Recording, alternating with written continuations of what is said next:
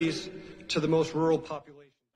Thanks for being with us here on News Now from Fox. Want to break in for this alert here uh, coming from the White House, reported by the Associated Press. President Biden is going to direct states to make all adults eligible for coronavirus vaccines by May. We're learning that this is likely going to be a part of his primetime address here.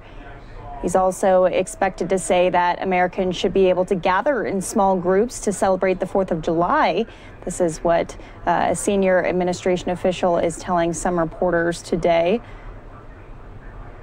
Big news right now uh, coming from the president there, and also some big news coming out of California. LA County will uh, allow indoor dining, gyms, movie theaters to reopen when the county moves to less restrictive red tier, which could happen as early as Monday. So, uh, good news for California, and we'll be carrying that prime time address pretty soon here with President Biden, but it does look like there's some breaking news coming out of, uh, I believe.